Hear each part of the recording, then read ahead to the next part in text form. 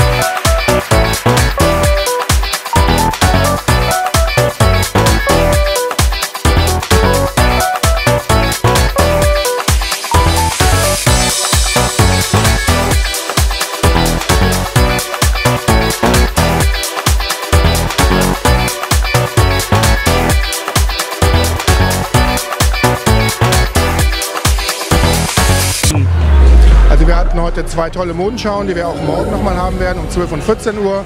Und am zweiten Messetag haben wir um 12 Uhr noch eine Modenschau.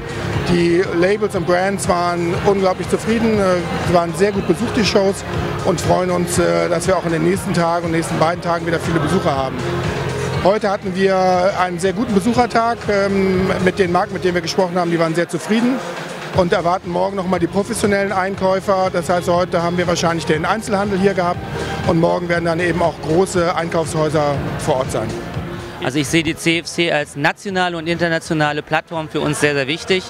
Und das ist für uns da, wo wir zu Hause sind, da, wo die Kölner Messe der Jugend herkommt. Und jetzt sind wir halt auf der CFC und versuchen hier die Kölner Messe und natürlich Pepo vernünftig zu präsentieren.